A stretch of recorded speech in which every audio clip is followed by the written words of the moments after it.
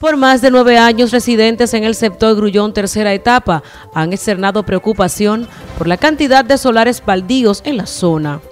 Estos mismos se han convertido en foco de contaminación y guarida para delincuentes.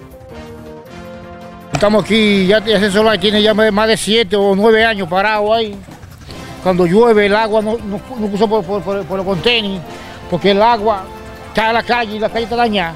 Entonces queremos que, si pueden, que nos ayude con el solar, porque estamos ya de lástima aquí, ratones, culebras, cada rato, y, atracos y atracos, se encuentra gente de, noche ahí, y hasta este viene por aquí subiendo.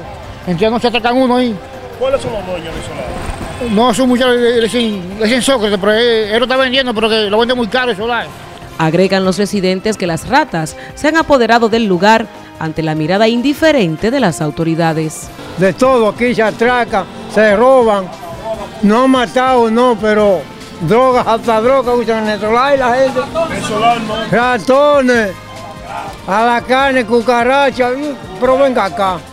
Para NTN, su noticiero regional, Joanny Paulino.